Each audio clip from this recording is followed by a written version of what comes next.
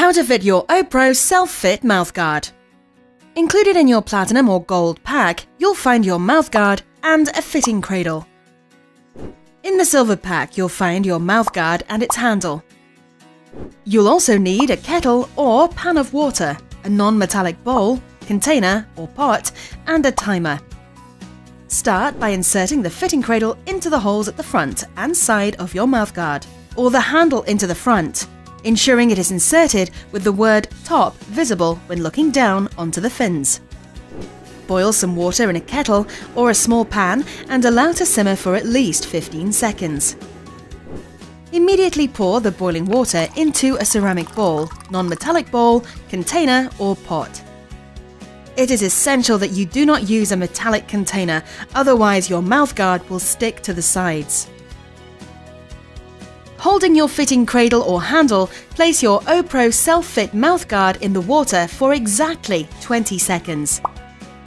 Be aware that leaving the OPRO self-fit in the hot water for longer than 20 seconds can damage it. Remove your OPRO self-fit mouthguard from the bowl and dip in cold water for 1 second. Carefully place your OPRO self-fit mouthguard in your mouth so it covers the upper teeth and firmly bite down. Push firmly and evenly over your lips and cheeks for exactly 30 seconds to ensure your OPRO Self-Fit mouthguard fits closely into position over your teeth and gums. If you have a fitting cradle or handle, drink half a cup of cool water with the mouthguard in place, allowing it to circulate thoroughly around your OPRO Self-Fit. If this is not possible for you, remove your mouthguard and rinse it under cool water.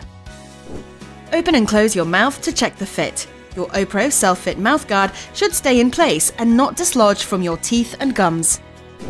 Remember, if you're not happy with the fit of your mouthguard, any of the steps above can be repeated. And that's it!